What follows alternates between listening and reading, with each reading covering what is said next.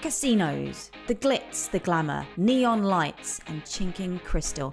This was once the scene everybody worth their salt wanted to be seen in, and Las Vegas was king. But what's it like now? In the technology era, does the house ever lose? Do card counters still exist? And is there a formula for winning on roulette? I'm JJ Woods, and this is The Knowledge.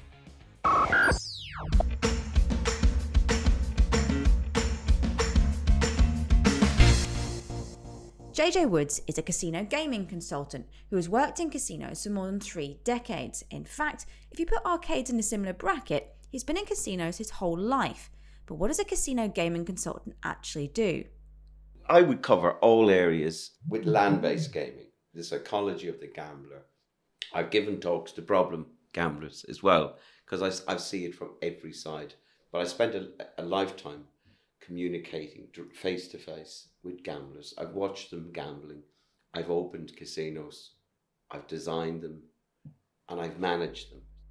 His most recent opening was the sparkling Carlton Club in Dublin, Ireland, where Woods is based for the foreseeable future. It follows years of travelling to exotic locations Russia, South Africa, North Africa, the Caribbean, and of course, Las Vegas. Vegas is, is still probably the only it probably is that place and it has that definition of it's like being in another planet. It really, it still holds that for me because it is an extraordinary place when you go and when you leave. It takes, it takes you a few days to come down from Vegas to say, my God, that was, that was extraordinary. I love the history of Vegas though. I love how it started and Bugsy Siegel and all of those stories, you know, they're wonderful stories. I mean, one of my best trips to Vegas was, I think, was 90, I'm trying to think of the day, I, I think it was 95. But at the time I went, it couldn't have been any better for me because um, they were blew, blowing in, I think it's called implode, imploding. They were imploding the Howard Hughes Stratosphere Tower so that I watched that being exploded, which is an iconic property. Well, it was. It's not there now. Robert De Niro was there with Sharon Stone making Casino.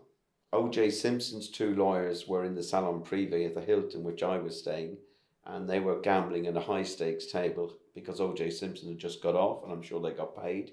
The other thing that happened there was, I think Kerry Packer gave one of his biggest tips to a waitress all happened on my trip when I was there. And did you know at the time this was happening around you? Yeah, I was there. I mean, they, they, well, I knew the the manager at the time from the Hilton, and he says, "JJ, do you want to come with me?" And because they had a special place to watch the building being blown up. And the, another thing was the guy that was with us. He he says to me, uh, he says, "This is going to be very special." He says because we've put extra pyrotechnics inside the building. So he says, You're going to see an awful lot of fireworks. I said, But why? Is that just for the people? He says, No. He says, That's for, they're making a movie called Mars Attacks. And this is going to be a part of the movie. Yeah, I have good memories of Vegas. It's a good place. Must you go to Vegas? Well, yes, says Woods, but perhaps not often. Just tick the box and move on. Where the casino thrill seeker goes next, though, Woods is unsure. I'd, I'd love to give you an answer, Jessica, and say, oh no, if you if you've done Vegas, you need to do this. But there's so many opportunities now. There's so many. I mean, even in Australia, for God's sake, they've got some fantastic, you know, casinos. The Crown, which was, um, they also invested into Macau. Um, you know, um, this there is so many destinations. I mean, Cyprus is opened, as you know. They, the north and south have, have casinos now. Um, I, I just read recently that Myanmar has they're now launching their new casino legislation.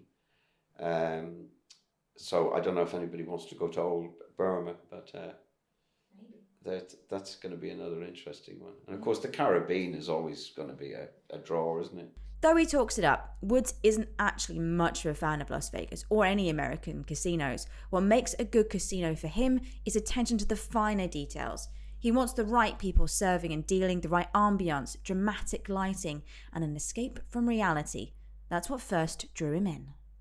I was always involved as a kid Um, I mean, I think my first summer job was working in a in, a, in an arcade, a, a slot machine arcade, and in those days you walked around with keys around your neck to open, literally open the door of each machine. So you had a key for every machine. But the only thing you were doing that in those days was actually unjamming a coin because there was no electrics. The, the only electrics in those days was to light up the front. Everything else was mechanical. The one I suppose that changed me, I mean, I'd worked for the bank for nearly nearly four or five, well, four and a half, four and a half years. I'd worked for a National Westminster Bank in London. I started off as a clerk, as a trainee clerk. I was 17. I think I was the youngest ever to work for the bank, youngest person ever. And then when I left, I was a senior cashier, which so I looked after all the tills, that sort of stuff. But the interesting thing was, I was I was actually in a bar one night after work, and I met this girl who I hadn't seen for some time. She originally trained me when I joined the bank. She was like your the person you you, you stay with for the first few weeks to learn about banking and, and stuff like that. And um, she she says, I says to her, what, where are you now? What bank are you? What branch are you at? And she says to me, I left the bank. She says, I work for the casino. She gave me a number and I just phoned the number. And the interview was held in the Sportsman Casino in Tottenham Court Road. And the guy that interviewed me, at some point during the interview, he said to me, I'll show you around and that when I walked onto that casino floor at I think it was five o'clock in the afternoon to see people and the most beautiful girls in gowns and the beauty of the floor and the lighting um, it just I couldn't believe that at this time of day this this type of facility was available it was still quite secretive in those days and that did it is it like an escape? Um, well, for me, it was an escape because I didn't like working days. So immediately in those days, uh, you did mostly night shifts because that's the busiest time.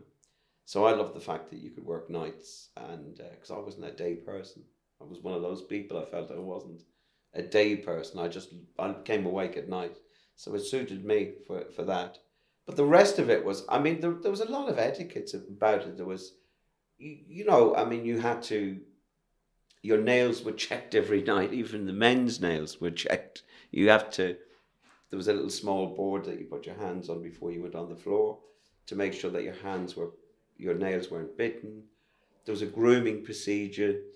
There was a lot that I liked at the time about that. I liked the idea of that you had to kind of prepare yourself for work. You couldn't just roll out of bed and go to the casino. You had to be well groomed.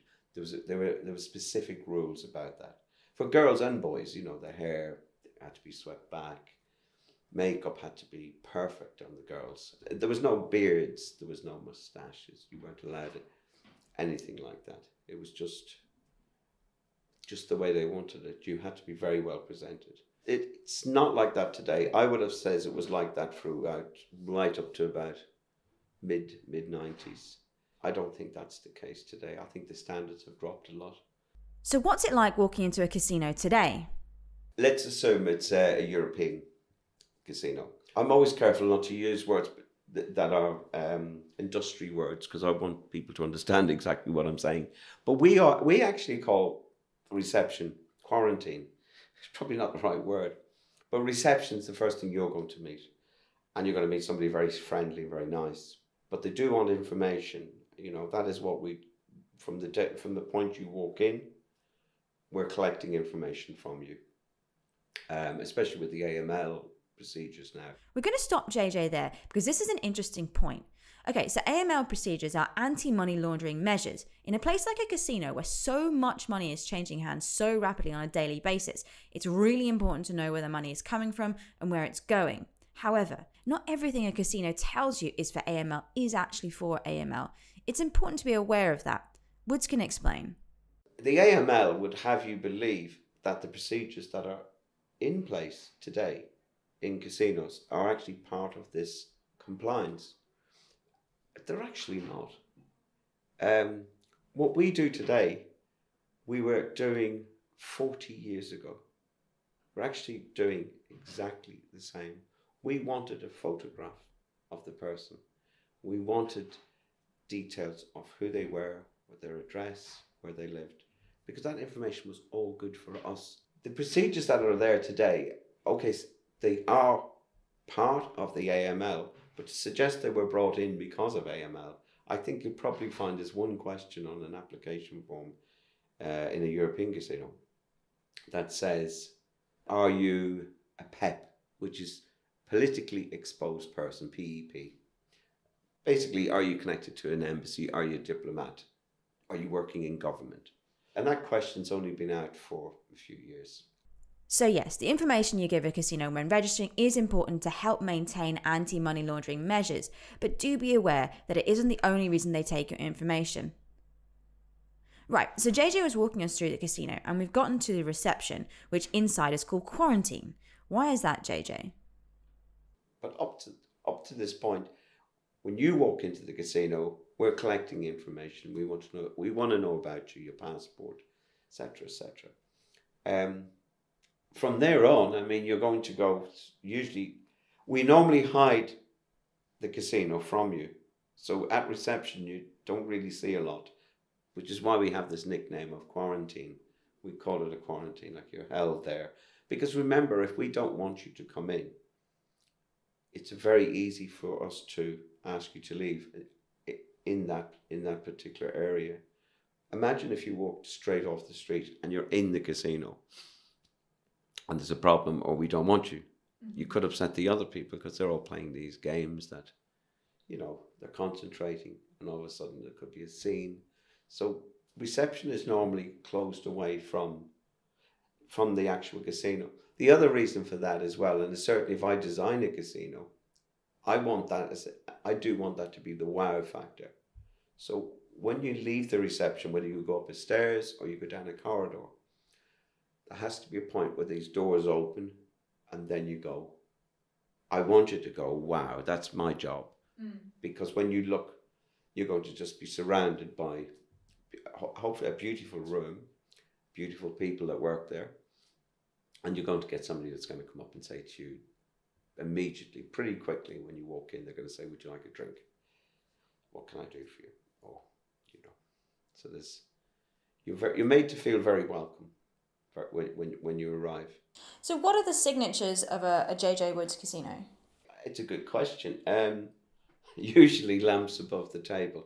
I love the lamps just above the table. The lights have to be on dim, or I have to be able to at least control the lights, because I always think it's old fashioned, but I still think the action is on the table. And I think the table should be just that bit brighter than the rest of the room. So the rest of the room is nice and it's lit. But a signature for me would be the lamp directly above the table. And the roulette, two lamps, one for the wheel, one for the base. But on a blackjack, just one. And it's usually quite a beautiful one with tassels. Blackjack so happens to be Woods' game. He's been playing it for years and has a really useful tip coming up here. If you're just into quick thrills at the casino, he's also going to share his roulette strategy, stressing that you never really can employ a strategy on a casino game of chance. I guess one thing we ha- haven't asked, which is kind of an obvious question, is do you do you play casino games? Yeah, blackjack is where you have. Uh, you see, all the games we play in the casino are games of chance, e- except blackjack. That's not a game of chance. It's uh, it's you've got an input. I suppose I've got to be careful because the gaming board says you can't interfere with the outcome of a game, but the the customer can interfere with the outcome of, of a a game of blackjack because you have a choice. You, you, you, you've got input, you can make decisions. Uh, whereas roulette, the only decision you make is putting a bet on, you know. I've often played roulette for a bit of fun, but no, my, my game for of choice would be blackjack. So explain for someone who doesn't know what blackjack is, what happens when you sit down at the table? Actually, at my age, I can probably give you away some secrets. Um, blackjack is is very simple.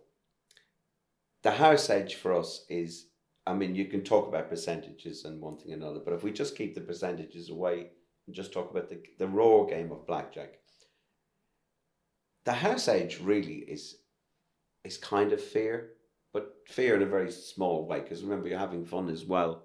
But the fear is basically um, you don't want to bust. That's the main thing. You don't want to go over 21. What people forget is that you don't have to get to 21. Like the job is just to beat the dealer. It's called blackjack, and everybody's got the color card and the ace in their head, and they think that's the best hand. It is. But the reality is, people often think I have to get very close to 21. And sometimes you don't. The job is actually to beat the dealer. The reason the house has a good time with this game is because an average blackjack table has seven positions for the players. Now let's assume there's four people playing. That's four people who all have to make a decision before the dealer. Remember, the dealer makes no decision. So if you think about it, that if all made decisions and some of them in, in those decisions could have gone bust. So the dealer's taking their money even before she draws her card. And then she draws her card. So it's a kind of a, the reason that casino wins is because you have to make a decision before the final card is drawn. Before you know what you're up against. Exactly. You know, because you, you're anticipating. So, blackjack requires a bit of patience, a bit of restraint. Resist that urge to get to 21, says Woods. Just get yourself to a nice place, a solid place. Maybe a 4, 5, and an 8 for 17. Something like that could work because you just never know what the dealer will draw. Roulette is a different ballgame altogether. But Woods has got an idea that can get you in the money. The roulette is fun because um, it's game of chance.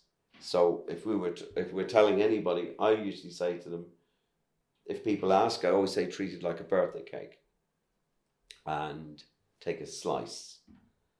And the slice is usually five numbers, you know, um, because the idea of the ball landing exactly in that one number that you've betted is going to be pretty hard. So what I say to them is you bet five numbers and keep the same five. Just keep betting the same five numbers with a small stake. Not not a, you know you can do it for I don't know five dollars a spin or whatever. So five numbers, a dollar in each number. The idea is that the ball will could land in that section of the wheel and one of your five numbers, as opposed to just betting one number.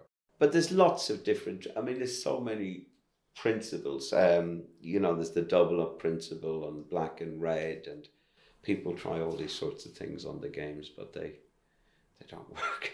Throughout the casino are also hundreds of slot machines, and of course the poker room. But poker isn't like any other casino game, and in fact, Woods explains poker players aren't casino people. They are poker players, full stop. In my opinion, okay, let's go back to the beginning of Texas Hold'em. Roughly 1999, 2000, it started to really gather speed. So 20 years ago. Um, and of course, the internet then just pushed it, you know, to become the most certainly the most popular game in the world. It didn't matter whether you were a plumber, solicitor, accountant. All of these people played this game. It was an extraordinary. It broke all the boundaries. You know, it was a game that just everybody liked. You, you can't say that about blackjack, and you certainly couldn't say it about roulette. So it was extraordinary. But the mistake the casinos made, if you go back to 2000, uh, and around about 203, 204, 205, all over the world, the new architects, the new plans, the new casinos, these monster casinos that were being built, instead of the casino being the, the, the bigger floor space, all of a sudden you had poker rooms designed that were four times bigger or three times bigger than the casino itself. I call it the trawler net system and the idea is that the casino at that time believed if we can bring hundreds of people into the poker room, which is, you know, within the complex, um, and we can do this tournament. Of course, as the tournament works, it's perfect because it knocks people out. So the casino believed, oh, even if we get the small percentage of these people to come into the casino and play blackjack, play roulette, this is going to be very good for us. It just didn't happen. And the reason it didn't happen, even though they kept trying and trying, um, they're different people.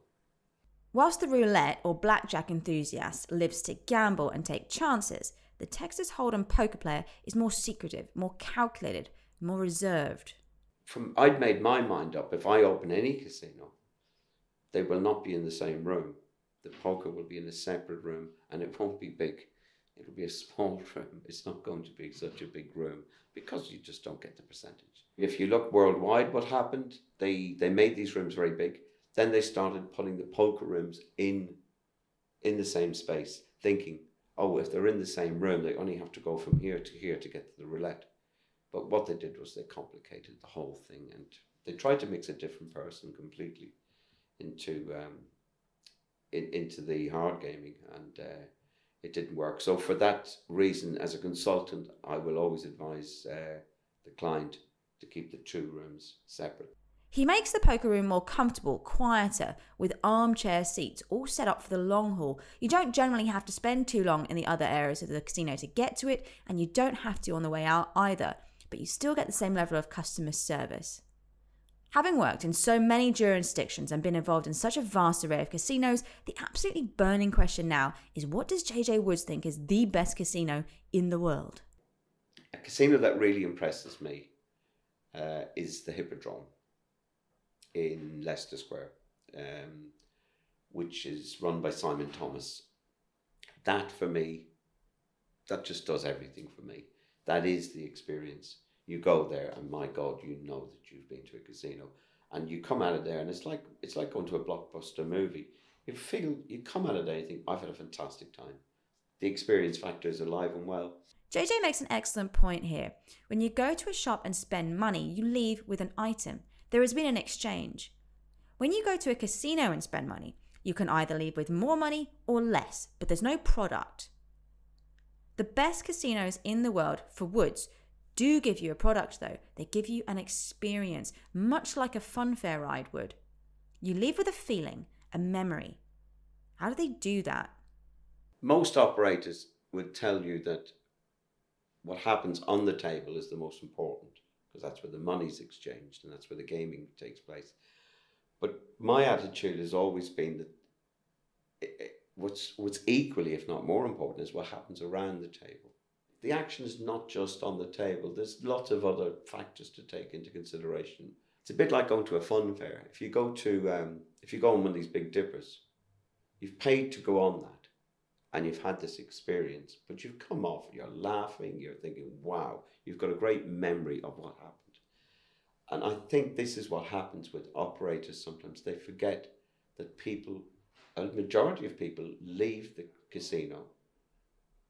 And if they haven't had the experience, like the Big Dipper, they leave with nothing. You see, I'm a stickler for um, just the way it's done in the UK. You know, um, there's there is that McDonald's factor of no disrespect because we've learned an awful lot from America, but um, there is that kind of McDonald's um, customer service that you can experience in casinos in the states, and it just doesn't do it for me. There's something quite genuine about um, the more genuine, I think, than with European casinos. Maybe because they haven't been doing it that long. You know, maybe America's tired. I think they're more genuine, the European casinos, when it comes to the customer service. I think there's a genuine feeling there. Oh, somebody's trying to help me. They're going to fix my drink. They're trying to do the best. Or the dealer's hoping that I'll win with the next card. There's still that. Now, maybe I'm old fashioned because I trained in the UK, but then I have worked in many other countries as well. You know, and I've done Vegas. I've been to Vegas. So I've seen the, the difference. So I have a lot of I have a lot of respect for it. But I'm I'm basically um, I, I, I don't I think wheel them in and wheel them out is not for me.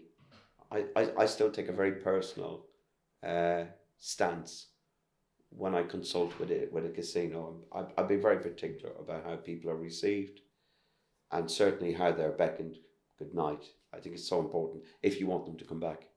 Woods is also focused on creating a theme for a casino. It must be this different world inside, and it must be different. If you call yourself the Palm Beach Casino, it must feel like Palm Beach inside. For all its faults, Las Vegas does remain the home of casino, the mecca, the behemoth of card playing and chip spending. And like it or not, it has had an effect on all other casino resorts that followed. I, I think we could never say that we haven't learned from it because it has it's an not just in gam- gambling and the games and the options and the but just, just marketing they, they were right on top of their game they invented junkets which is something I was involved with um, and I think this country should be doing but we're not doing it we're the, we're the best country in the world to do junkets here because we've got the best horse tracks we've got fantastic golf courses and junkets are all about um, bringing people into into a, a, country, keeping them busy in the daytime, bring them to uh, golf, race meetings, festivals, and then at night time they go to the casino. That is the epitome of a junket. But we learned this from America. Like junkets started in America way back, you know, in the fifties, and um, you know they were buses. There was just these buses that would come along and collect all these people and bring them to to the casino for the day. So there's a great history of marketing, of how the business evolved in America. So yeah, I, I respect that. I, I really do. If Vegas is casino past, the Hippodrome is casino present, what then is casino future? Land based casinos face pressures from online casinos, and perhaps vice versa, with technology in physical casinos advancing at a similar rate. One of your uh, big focuses on when you're setting up new casinos is to restore the casino experience to its past glories. But what hmm. in the future of casinos? What will casinos look like in five or ten years' time? Very good question. Well, I used to say, I mean, even going back 10, 15 years ago, people used to say people are eventually going to get fed up with online and they'll go back. Best example I can give you is if you go back some 10, 15 years ago, even longer, um, some of the biggest hotels in the world, resort companies, um, came to us and they would beg us. I mean, that's how I worked in those countries in Russia, in South America, in Caribbean, and North Africa. I went there because these big companies says, you know, will you please, I mean, please put a casino in the hotel. Will you please put a casino in the resort? People wanted to attach themselves to us because uh, we, we were a winning show the way it's changed today is we're going to the hotels and we're going to the resort companies, we're going to these holiday resorts, we're saying, can we please be part of your show? The dynamic has completely changed. So the business is, is dramatically changed. It's not the popular, uh, the land base is not what it used to be. I think the only thing that will keep it alive, and the only way it'll survive, is if we attach ourselves to other experiences. I think we have to follow the American route. Um, we do need to do the show, and to get to the show, you have to walk through the casino. But it's a fantastic show. It's a big act. It's a successful act. It's a rock band. It's it's something very special. You go there, and then you can have a fantastic night in the casino we need to get involved with other experiences. I think we have to say, we will give you the experience. I don't think land based just on its own playing nice music at night. I think those days are, are fast. There's probably a handful of countries they would probably survive in, but for the big business, I think we need to attach ourselves to other other attractions. What about um, what about technology? Will we ever have something crazy like robot dealers or cards that deal themselves or something? We have virtual dealers already. You can see those if you go to the show, um, the Ice Show in London. Um, well, they started off as TV, like as a screen. So there was a massive TV screen at the back of the blackjack. And when you sat down, the girl says, Good evening, how are you? So it kind of works like online, you know. So that's been there. But now there is a virtual, you know, like a virtual dealer. So it's it's there. Whether it'll I don't I don't think it, it I still don't think it would have any place because I think people would just revert to online. Is it like a hologram? Yeah. Do you get a physical card? You don't get a card. It's a great thing to watch, and I did see it. But having said that, I, I still go back. But again, I might be, as you said earlier, there is this old fashioned thing about casinos, and there always will be. I still think the engagement is very important. With a robot or virtual dealer, the player is essentially alone. In the best casinos, dealers are incredibly highly trained in player psychology. They know when a player is going to fold or when they have placed their last bet. They know how to treat a player on a winning streak or a losing one. For many reasons beyond a player's enjoyment, that is really valuable to the player as well as the casino seeking to get the player to return. And it just cannot be done by computers, as cool as a hologram dealer might be. They also probably couldn't spot cheating. The days of top hatting, um, I think, are pretty much gone. What is top hatting? Top hatting is is taking is putting a increasing your stake when the dealer's not watching. So they they actually put a chip on, on a chip. I don't know if you remember Tiddlywinks, if you ever heard of that game where you flick a, a, a circular, a coloured, um, like a counter. used to flick it called Tiddlywinks. It's an old game. But these guys were brilliant. I mean, they could actually flick a chip during the wheel spin of a roulette and they can land it directly on top. and it had to be directly. If you watch any casino in the world, just before the dealer spins the wheel, she uses this finger here and she'll go like that over a, a few of the bets. And the reason she's doing it that is we call it a dirty stack. If, if one of the chips is not perfectly, if the, the, it has to be a perfect cylinder. We don't like chips sticking in, in and out. So she'll go like that and she'll straighten them. So if this guy's chip that he flicks doesn't land directly on top perfectly, they'll know something happened and they'll ask for a camera rewind. And that's in the point where the wheel, the ball has landed. She's looked over to see the ball, and in that time, he's put the chip on top of the winning number. There's a few, I don't think those guys are around anymore, but they were. They were called top hatters. Whilst top hatters are a thing of the past, card counting still exists Card counters, generally people naturally gifted with photographic memories, play blackjack. During the games, they decrease the house advantage by keeping a running tally of high and low cards in their heads. It allows them to bet more with less risk, and casinos are clearly not fans. But does Woods himself see it as cheating, or is it just a natural advantage? It's a difficult one. Um, I've taken them on. We have a thing called the it's not called the Griffin Book. It used to be called the Griffin Book. It's now called um, Central Credit Nevada, but it's the book of cheats, and it's kept in in um, in their offices over. It's a big company now, the the um, Central Credit, and they keep a book of all the disguises these people use because they use mustaches, they use all sorts of different things to get into the casinos because a lot of them would be barred. In the past, we've seen them in the book they are these are definitely card counters, but we've taken them on because they don't always win. They don't always beat us. Um, the formula has to work. Everything has to be perfect. But generally speaking, if you certainly don't monitor them and they just allow them to come in like without taking any real precautions, yeah, they can beat you. They ha- they do have an unfair advantage. It's an unfair advantage just because they are better at maths. Because they've born with photographic memory, I suppose, is good. It, that's that's a bit it's a bit special. It's such a hard question to answer because there's there's a part of me that admires them because they have this special talent, but like they are executing a talent that makes the game more in their favor. But I don't think I'd be, I don't think I'd be terribly angry with with with a card counter. I, I, I don't think they're they're not the they're not really the type of cheat or a top hatter or somebody that's genuinely trying to steal money from the casino. I, I don't see them in that light. They're gentlemen in some ways, but they're not the real cheats. I don't think so. And I don't think they're real thieves either. I think they're just. Uh, but unfortunately, I, I, I, I can't change all the operators' opinion. And most operators wouldn't like to have them in the casino.